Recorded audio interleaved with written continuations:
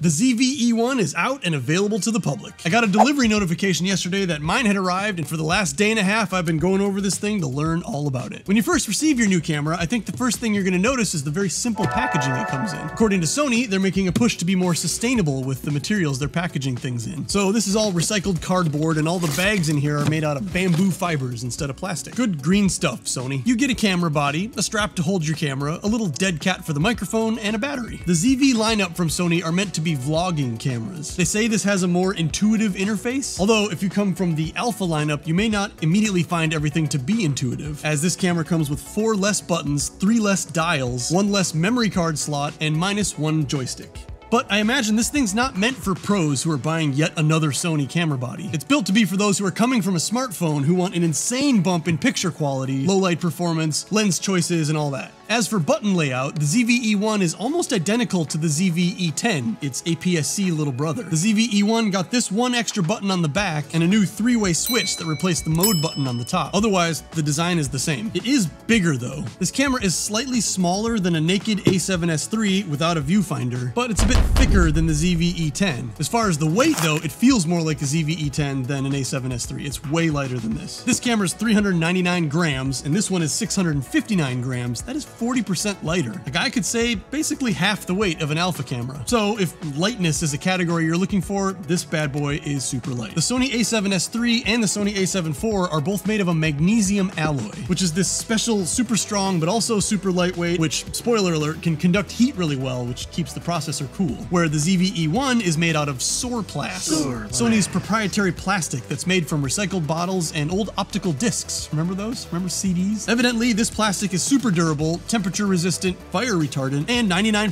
recyclable again and again forever. So it's a plastic camera, which is how it's even lighter than the magnesium alloy bodies. There is a metal plate on the bottom where everything attaches, so it's not like you're gonna strip the thing out by eventually rigging it up with a cage and everything else like we tend to do. We've got USB-C for power delivery and data transfer. It's got separate microphone in and headphone out jacks, and my least favorite port, the micro HDMI. Every bit as functional as a full-size HDMI, just micro. So that's what this camera is. Let's talk about what this camera does. The ZV-E1 is a 12 megapixel 4K video shooting, larger than normal smart microphone having AI featured little monster. In practical terms, the output that you're gonna get from this thing, this camera is an A7S III, Sony's flagship video-centric camera, but without a viewfinder, a lot less buttons and dials, and a bunch of smart features added in via this AI chip from Sony. This camera has 5-axis in-body image stabilization, the most impressive person, animal, insect, automobile, airplane, train object tracking I've ever seen, even better than the A7S III, and its software is designed so that you don't necessarily have to be a camera pro to get pro footage. What I mean by that is you don't need to know what aperture to shoot at and then what ISO and shutter speed to use to compensate for in order to blur out the background. There's literally a button that's just labeled background defocus. There's even a setting on here called cinematic vlog, where it puts black bars on the top and bottom of the screen to simulate a 20 by 9 aspect ratio and changes the picture profile to look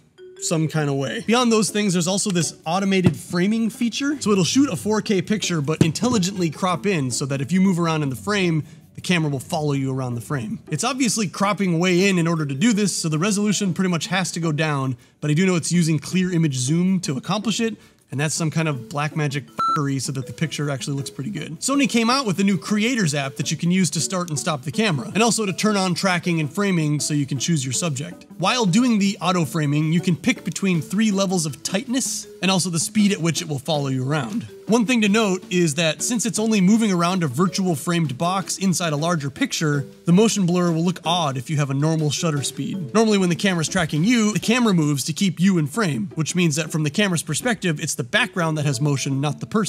But since this is in reality a static camera, you are the thing that's moving, so the movements, your body becomes blurry with the clear background that moves behind you. I actually just think it's kind of a thing the world will get used to seeing because this feature is cool enough that people are probably going to use it. It gets even more advanced with two people. The camera can sense when there are two of you in the frame, and if you're not sitting in the same plane of focus, it'll crank down the aperture and then compensate the ISO so that you're both in focus. You can even pick a primary person so that if one person goes a little too far out of the screen, it'll stay on one of you and not the other one. On to the autofocus tracking enhancements. The real-time focus tracking has dramatically dramatically improved with this camera. And I want to say, I never saw anything wrong with the a7S III. This camera already blows me away with how well it can stick on someone's eyeball and keep them in focus no matter how you're moving. But I set up a test here in the warehouse where I have a pretty busy background with cages and flight cases and a tool chest and pretty flat colors all around with no lights specifically on me, and I ran around and danced around and jumped up and down, and the ZV-E1 would not let go of focus on me. You can see how it's doing it too. If it loses track of my eyes,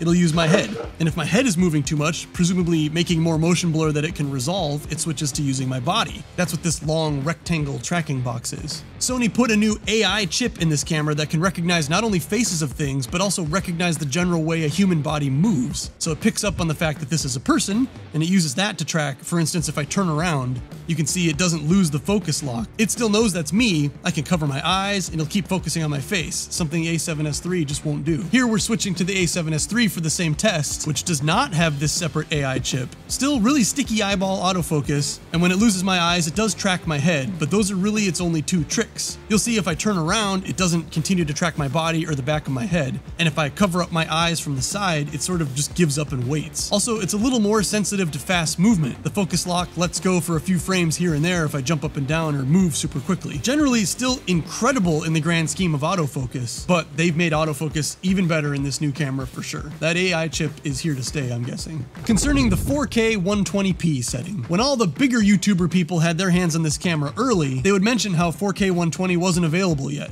so they couldn't test it out. Well, that's still the case. It's still not available now in May of 2023, but the Sony website says an upgraded license key will be available in June of 2023 with that feature built into it. So for now, you're limited to 60 frames per second to showcase your amazing hammer juggling. The super duper slow-mo was definitely a selling point for me, so I guess make sure you're subscribed to the channel for that sweet, sweet content coming in June.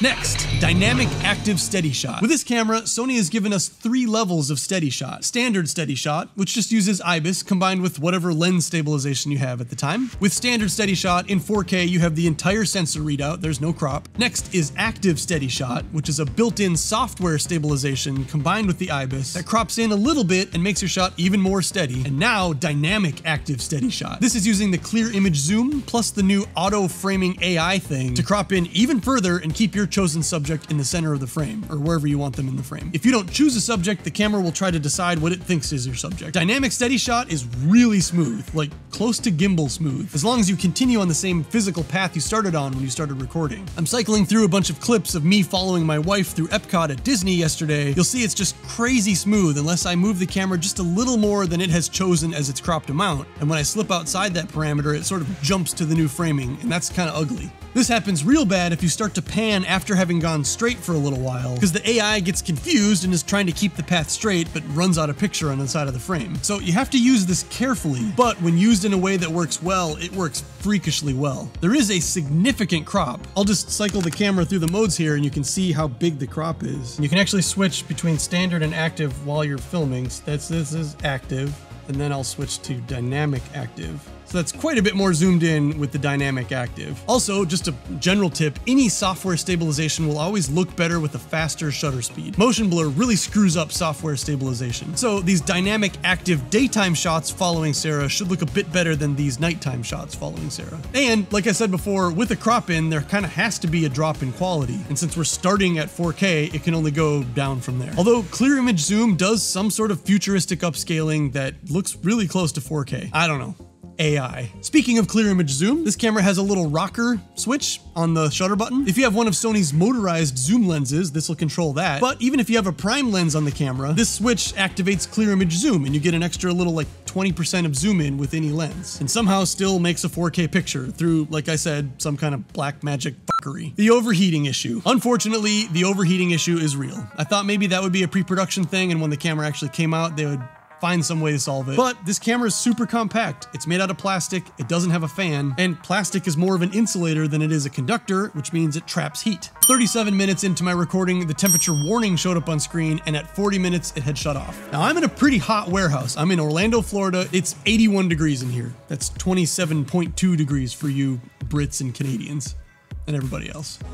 Literally everybody else. There's practically no moving air in here at the moment, so it, this overheated a little faster than it would in like an air-conditioned studio environment. And in fact, I did do a separate test where I had a little fan blowing on the camera and it could record to infinity or until I gave up. So if you're in a very controlled environment, this is not an issue. But if you're someone who records outdoor summer concerts and the camera's gonna be running for like a really long time, in the heat, this may not be the camera for you. At least maybe not without some modifications. I have a suspicion that one of these little stick-on copper heat sinks will solve the problem, and I'm gonna try that out and make that video next. My takeaways. Who is this camera for? As advertised, I think this is an ideal camera for a vlogger, someone who's coming from a cell phone, wants a huge bump in quality, and someone who's becoming really serious about their work. Because even though this camera is way cheaper than the a7S III, it's still over $2,000. It's far from cheap. But if you're making vacation stuff or travel stuff or vloggy stuff where you're doing short snippets, the camera's on and off all the time, it's never going to overheat. And if that's the case, this is basically an A7S III, which was the best video camera ever made, in my opinion, in my very humble opinion. Also, if you're looking for a studio camera that can produce every bit as high a quality of a final product as the A7S III or what I'm recording on the A7 IV, this is that too.